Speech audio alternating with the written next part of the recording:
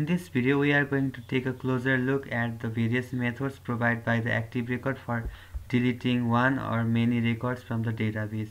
So as we are just familiar with the destroy method if we want to delete a record from the destroy method then record from the database then we can directly use the destroy method for example if you want to destroy the first record then you just one can fetch the first and just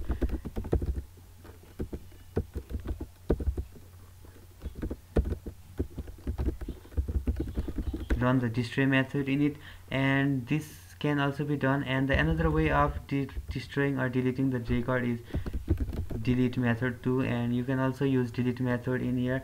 So there are two major difference between using delete and destroy that you need to consider. So i'm just going to explain what each of them does so. When you run the destroy method in the object it is going to run all the code that is inside the model. So you have the model in this app app and this here models and say product here.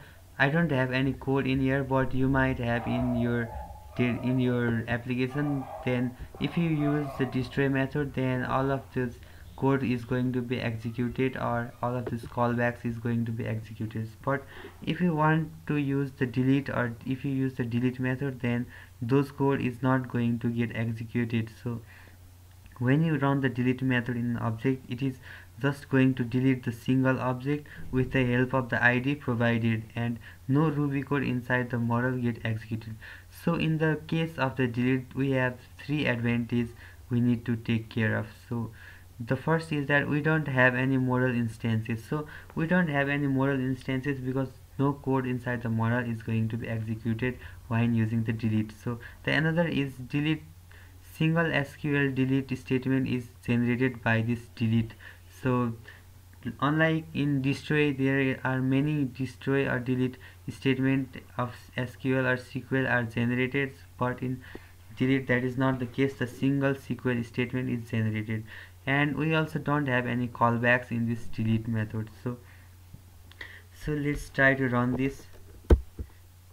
Okay see here just one is happened. And if you want to just delete multiple record from the database and you can just do like this.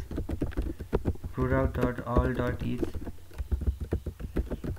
do p and you can just to destroy or delete and you can just run this and in this block and just everything will just work fine. But the problem with this is that it will also generate the number of SQL queries that is correspondent to the number of record present in the database. So for each record each SQL statement are generated and which is a downside for the performance boost. Like we have talked in the update statement or update object. So the the way of gaining the performance boost is using the delete all